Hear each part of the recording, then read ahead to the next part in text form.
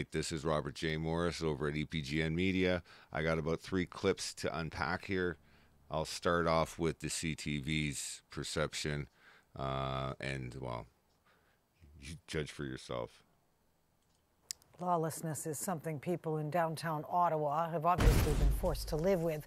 What they could live without is the lack of leadership in making it stop. Here's CTV's Ottawa Bureau Chief Joyce Napier. The unacceptable views are over there, not over here. As what's happening in Ottawa is being described as an occupation and an insurrection, the political blame game is in full swing. It is the responsibility of the police of jurisdiction, and in this case, the Ottawa Police Service, to maintain public order and to uphold the rule of law. Politicians pointing fingers.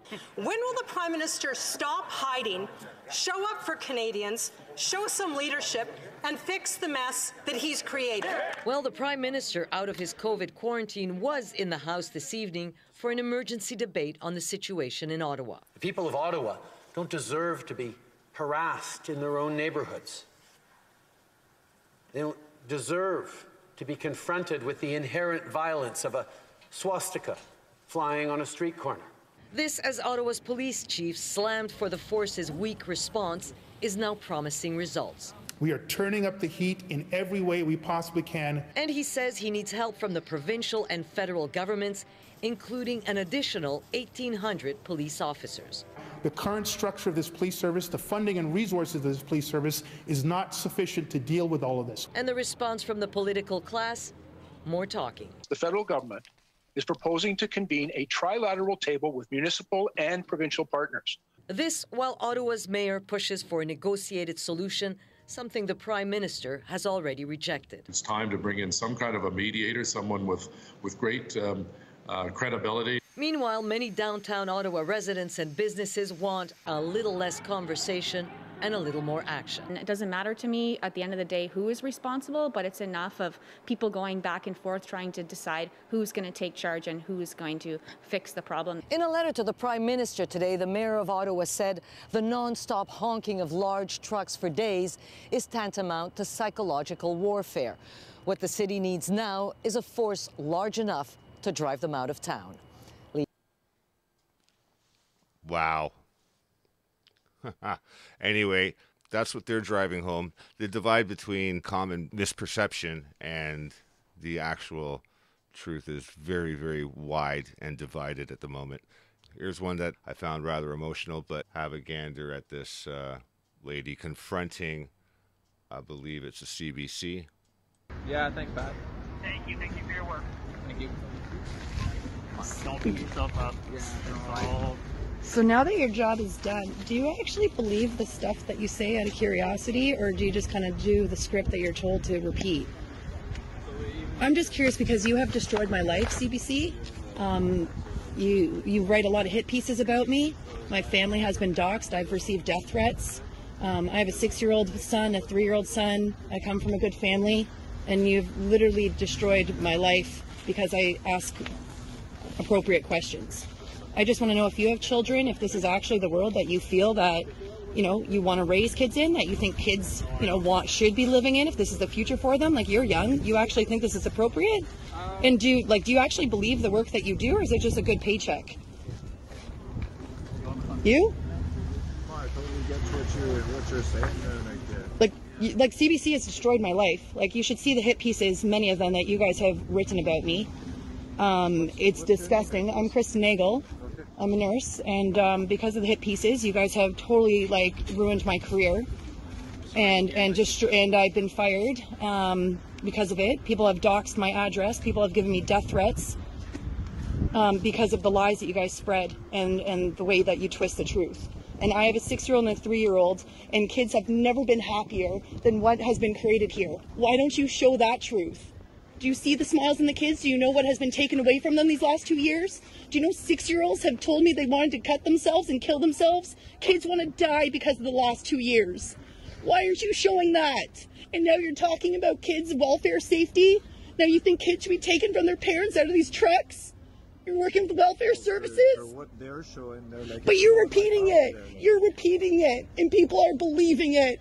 Why do you think there's people out here counter protesting? Why do you think Winnipeg, someone drove down four protesters purposely and put them in critical care? Why do you think there's actually violence and hate happening? Do you know how divisive this is? Is this actually Canada? Do you know what you're reporting and what you're doing to the people out there? How does that make you feel? You're a young guy.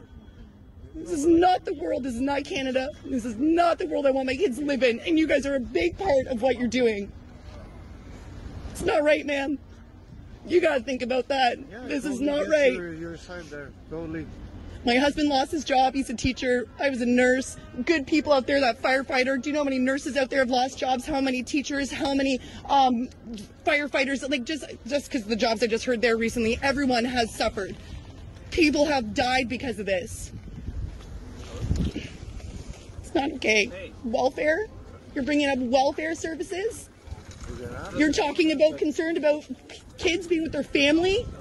Kids are with their families in these trucks and they're laughing and they're dancing. You guys should be ashamed of yourselves for what you're doing. Fun is illegal in Canada. They have never been happier these 10 days than they have in the last two years. Do you know how many kids came up and said thank you? Do you, do you actually even look at the notes that are stuck to every single truck from kids? Do you see the heart that comes out from them? Yeah. Do you know how important this is for them? Like I said there, like I totally get your your side there too. Then why don't you report it? Why don't you guys report it? Like I said. Why don't you report the truth? Not my, it's not in my power now. Sorry. You allow it to happen. By being here, you allow it to It's happen. not even in my power. Or is this your job? Well, Is this I- your job to stand? So you consent. You consent. I took a I took a choice as a nurse, and right away as soon as this happened, I stood up and I lost my job for it. You being here a part of this, you're complicit. It means you consent to what is happening. It's just money. There's other jobs. There's other ways. There's other platforms. The longer you stay with this lie, night, eh? Stay stronger. Oh, I am strong. You have no idea. But you guys have you guys have to sleep at night and live with your conscience and what you're doing to Canada and the people here. I do sleep at night. Thank you. I feel sorry for you. Shame on all of you. Shame on you. Sad, pathetic people.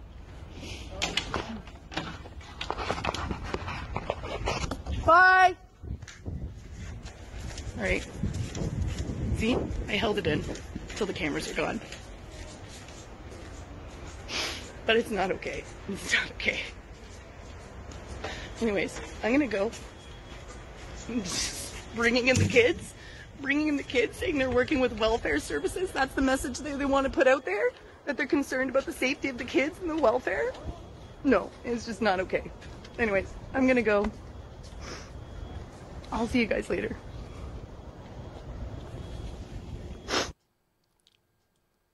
Yeah, gut wrenching. Um, that's uh, a very important point to make. By the way, is uh, I've always been saying right from the beginning is that once the government decides to go after the children, that's when things are going to get uh, sticky. I just really hope that the that all parties involved can keep a cool head in a very deliberate and very peaceful manner. All right, longtime friend and OG member of the original bunch who uh, was doing YouTube stuff back in 2014. I just send a, a hail out and a hello. Just something on a more positive note uh, to leave you guys with. And thanks for sticking around this long. Top of the night, whatever the case may be, my name's Ben Matthews, aka Ben Time Traveler. I am who I say I am. Your government with inside the government ain't trust me on this. I know these things. And I'm talking about the government with inside the government, not the deep state, not the window dressing that they want you to look at. I'm talking about the government with inside the government. But that's another story. Today, down in Detroit, what you're looking at is the Blue Water Bridge from Port Huron to Sarnia, or from Sarnia to Port Huron, whatever way you want to look at it. But the Ambassador Bridge down in Detroit has been shut down by protesters, and we're down here at the Blue Water Bridge where they've been telling truckers to uh, use this bridge instead to get back and forth to Canada. There's no backup on this bridge. Traffic seems to be moving a little slower than usual. Unsure within a matter of time with all the people having to come from Detroit down here to Port Huron. Take about 45 minutes to an hour to get here. So I, I imagine within two hours the highway will be backed up here going into Sarnia and coming probably out of Sarnia. Like I said, there's a little bit more uh, more traffic right now than usual. Um, considering what's going on down in Detroit with the bridge being shut down with the protesters there. This is a big deal. And I'm waiting waiting for this one to be shut down. If they shut this one down, and uh, they're making a point, man. And and, I, and, this is what they need to do. They, they want to voice their opinion with nonviolence. Shut down this bridge. Shut down the Wizard, the Ambassador Bridge, and shut down the, tr the train tunnel down, or the tunnel down there in Detroit. Shut it down, man. Nonviolence. Voice your your your your opinion. Your you know. That's that, man. That's how it needs to be done, man. You know, not, this is nonviolence. You know, it, it, you know, I'm looking at Canada. You know, it's a socialist country, man. I, I, I said this numerous times. I love my brothers and sisters over there, and, and I always said, when are you guys going to stand up for yourself, for your rights, man? I watch you come over this bridge right here every day before the, the pandemic broke, buying gas, cigarettes, milk, your groceries, everything. You would come over here, over this bridge, and you would buy your product. Why? Because it costs more over there in your socialist country, man. And like I said, I love you, my brothers and sisters over there. But you can't tell me you ain't got death panels over there either. I know for a fact you have death panels, man. I know people that have died waiting to get in the hospital. I, I know people that had to wait six months just to go see their doctor. Once they seen the doctor in six months, found out they had cancer, they died before they even got to the hospital to get treatment. I love you, brothers and sisters, and, and it, it's about time that you stood up and, and you stood up strong, united, and voiced your opinion, man. Because you know what? I got your back, man. I got your back. You can't have somebody's back they won't stand up for themselves, man. You know, and, and Ben Time Traveler, before this even happened, about the GoFundMe funds with the truckers, what did the Ben Time Traveler say a week before it even happened? That money, something's going to happen, it's going to disappear, bam, boom, bam, bang. I'm glad they got their stuff back, though, man. But I told you, man, because that's how these socialists work, man. You know, they, they, they, they, if they can't, they can't shut you up, man. They'll finance financially try to break you, man. If they can't financially break you, then they'll throw you in prison, man.